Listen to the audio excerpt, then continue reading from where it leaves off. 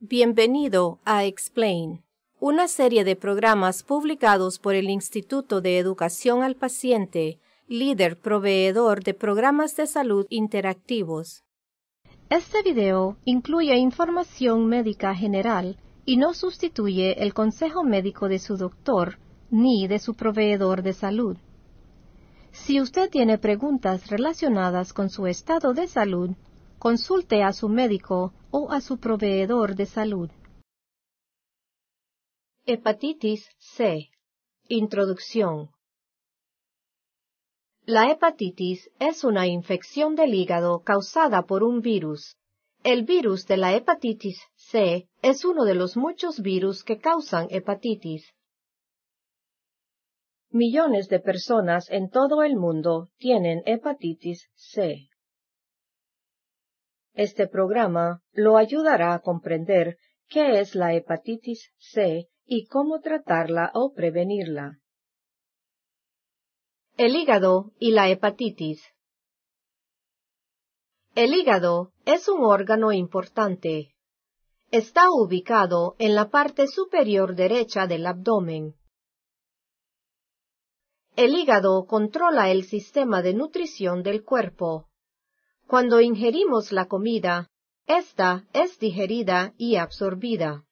Luego, es transportada mediante los vasos sanguíneos más importantes hasta el hígado. El hígado procesa sustancias que ya se han absorbido, tales como la grasa, el azúcar, las proteínas y las vitaminas, para que el resto del cuerpo las pueda usar. El hígado se deshace de las sustancias dañinas llamadas toxinas antes de que éstas envenenen el cuerpo.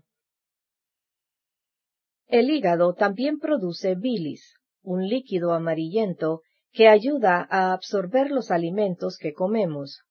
La bilis está hecha de una sustancia llamada bilirrubina, un compuesto químico amarillento.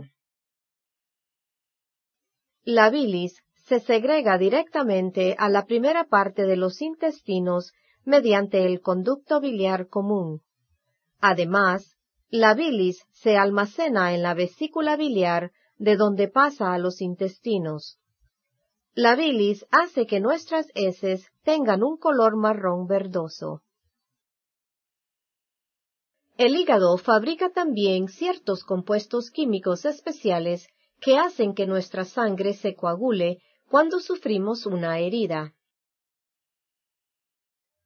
Los virus son gérmenes muy pequeños que solo pueden multiplicarse después de invadir el cuerpo de un huésped. El herpes labial, que se presenta como pequeñas úlceras en la boca y en los labios, y la gripe están causados por virus. Solo se pueden ver con microscopios muy potentes. Un virus llamado virus de la hepatitis C puede invadir el cuerpo a través de sangre contaminada. Este virus produce una infección en el hígado llamada hepatitis C. La hepatitis C puede llegar a causar complicaciones muy graves que afectan al hígado y hasta pueden causar la muerte. Síntomas cuando una persona se infecta con el virus de la hepatitis C, es posible que no presente síntomas perceptibles durante décadas. Los síntomas de la hepatitis C suelen ser como los síntomas de una gripe, incluyendo fiebre y escalofríos, dolores musculares o articulares, dolores estomacales, náuseas y vómitos, fatiga. A veces, los síntomas de la hepatitis C pueden volverse muy graves repentinamente, provocando fallo en el funcionamiento del hígado. Si esto sucediera, se elevarán los niveles de bilirrubina en la sangre, ya que la bilirrubina no se podrá excretar a través de la bilis. Si hay niveles altos de bilirrubina en la sangre, La piel y la parte blanca de los ojos se vuelven amarillentos, causando una condición que se llama ictericia. El tener unos niveles altos de bilirrubina en la sangre también puede causar picazón severa. Tener niveles altos de bilirrubina en la sangre también puede hacer que la orina tenga un color amarillo oscuro. Las heces son de color blanco porque no reciben la coloración normal que les da la bilis. En el transcurso de un par de décadas, la hepatitis C puede comenzar a destruir el hígado, lo que se conoce como una enfermedad llamada cirrosis. La cirrosis impide que el hígado limpie la sangre. Esto puede resultar en un estado de coma o la muerte. La persona infectada con el virus de hepatitis C que toma bebidas alcohólicas tiene mayor probabilidad de tener cirrosis del hígado. Los pacientes con hepatitis C tienen un riesgo mucho más alto de desarrollar cáncer del hígado. De cada 100 personas infectadas con hepatitis C, unas 15 a 45 personas mejorarán sin tratamiento en los primeros seis meses y unas 55 a 85 personas desarrollarán hepatitis C crónica. De cada 100 personas infectadas con hepatitis C, 15 a 30 personas desarrollarán cirrosis en un periodo de 20 a 30 años, produciendo daño de hígado y la necesidad de un trasplante. Patrocinado por el Instituto de Educación al Paciente www.patient-education.com. Más de 5.000 videos y tutoriales. Diagnóstico. Suele ser difícil diagnosticar la hepatitis C temprano porque los síntomas no suelen aparecer inmediatamente. Para detectar y tratar la hepatitis C a tiempo, es importante ser muy honesto con su profesional de la salud cuando hable sobre el uso de drogas y las prácticas sexuales. Si su profesional de la salud siente la necesidad, puede ordenarle un análisis de sangre y descubrir la hepatitis C lo suficientemente temprano como para tratarla. Desafortunadamente, los análisis de sangre por sí solos no pueden revelar el tipo ni el alcance del daño que ha sufrido el hígado. Es posible que se necesite una biopsia del hígado u otras pruebas no invasivas. Existen muchos subtipos diferentes que técnicamente se conocen como genotipos de los virus de la hepatitis C. Un análisis de sangre puede ayudar a determinar el genotipo exacto. Esto es importante porque el tratamiento, su duración y su eficacia varían de un genotipo a otro. Tratamiento. Anteriormente, se usaban solo dos tipos de medicamentos para tratar la hepatitis C. 1. Interferones. 2 ribavirina.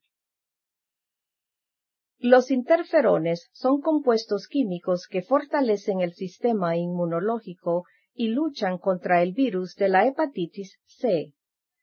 La ribavirina actúa directamente contra el virus de la hepatitis C. Estos dos medicamentos se pueden usar juntos.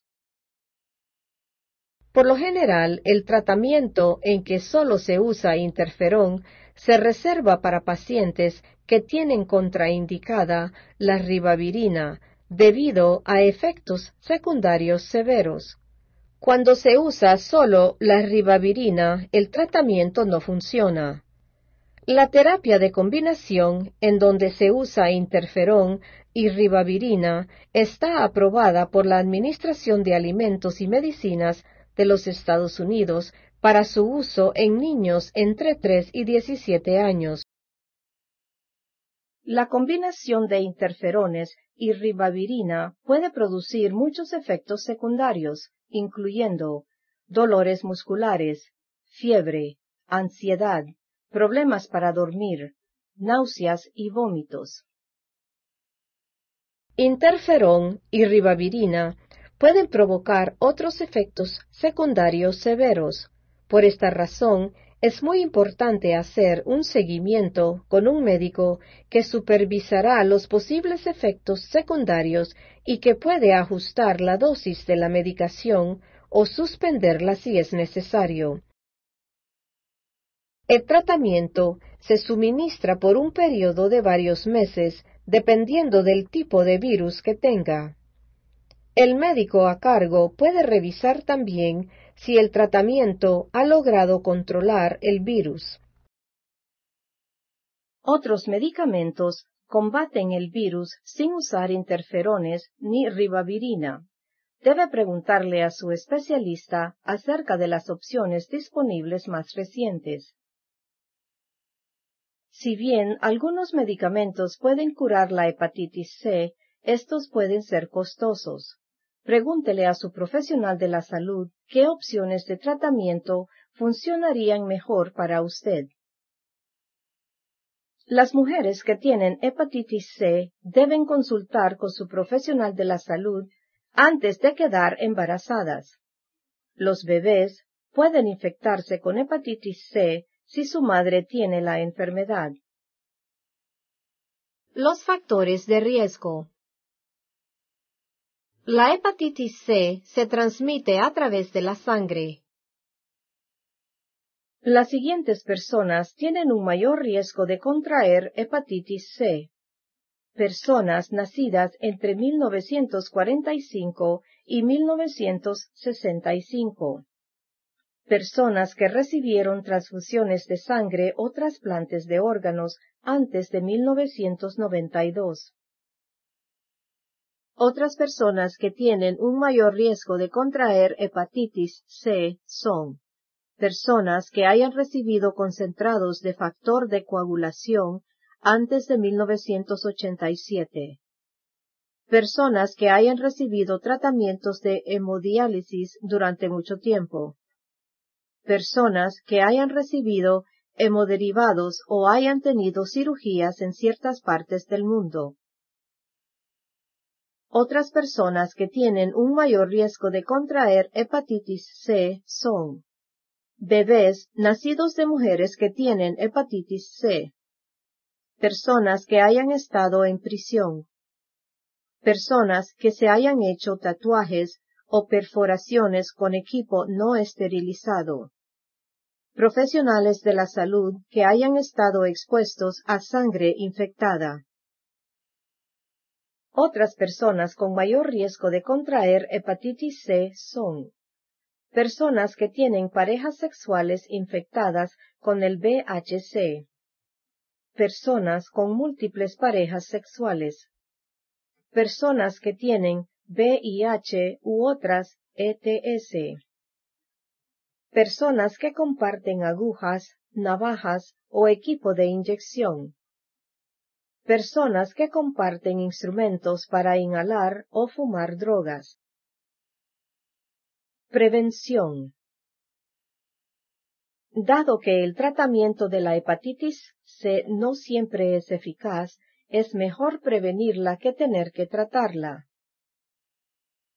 Las mejores cuatro maneras de prevenir la hepatitis C son 1 practicar sexo seguro usando condones y restringiendo el número de parejas sexuales. 2. No compartir jeringas u otros objetos que hayan entrado en contacto con la sangre de otra persona, tales como las navajas y los cepillos de dientes. 3. Usar guantes si se corre el riesgo de entrar en contacto con sangre o con cualquier otro fluido corporal. 4. Si decide hacerse un tatuaje o una perforación corporal, piercing, asegúrese de que los instrumentos usados estén esterilizados. Si usted padece de hepatitis C, hay ciertas precauciones que debe tomar para mantenerse sano y mantener sanos a los demás.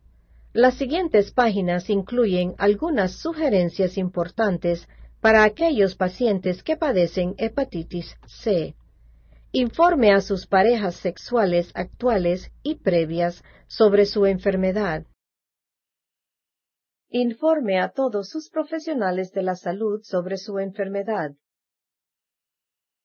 No done sangre ni derivados sanguíneos. Vacúnese contra la hepatitis A y B. No tome alcohol. Consulte con su profesional de la salud antes de tomar cualquier medicamento nuevo, incluidos los de venta libre, como acetaminofén o Tylenol. Es posible que necesite una dosis diferente a la indicada o que no los pueda tomar en absoluto dependiendo de si podrían dañar su hígado. Siga las instrucciones de sus profesionales de la salud sobre los medicamentos e infórmeles sobre cualquier efecto secundario que pueda experimentar. Las mujeres con hepatitis C deben hablar sobre el embarazo con un profesional de la salud antes de quedar embarazadas. Hay una posibilidad extremadamente pequeña de contagiarse de hepatitis C de una pareja sexual en una relación estrictamente monógama. Este riesgo es tan pequeño que no se recomienda el uso de condones para prevenir la infección de la hepatitis C. Sin embargo, las prácticas sexuales que pueden aumentar el riesgo de la exposición a la sangre del compañero pueden incrementar este riesgo. Tales prácticas incluyen, por ejemplo, sexo duro y sexo anal. Si le gustó este video, dé un me gusta y compártalo. Para videos similares, suscríbase a nuestro canal. Resumen la hepatitis C es una enfermedad grave. Puede pasar desapercibida durante años porque no suele mostrar ningún síntoma, sobre todo al comienzo. En el transcurso de un par de décadas, la hepatitis C puede comenzar a destruir el hígado. Esto se conoce como una enfermedad llamada cirrosis. La cirrosis impide que el hígado limpie la sangre. Puede resultar en un estado de coma o la muerte. Si bien algunos medicamentos pueden curar la hepatitis C, estos pueden ser costosos. Pregúntele a su profesional de la salud qué opciones de tratamiento funcionarían mejor para usted. Si tiene hepatitis C, hay ciertas precauciones que debe tomar para que usted y los demás estén lo más saludables posible. Informe a sus parejas sexuales actuales y pasadas acerca de su enfermedad. Consulte con su profesional de la salud antes de tomar cualquier medicamento nuevo. No done sangre ni hemoderivados. No tome alcohol. Es mejor prevenir las infecciones de hepatitis C adoptando ciertas medidas preventivas. Gracias por usar Explain.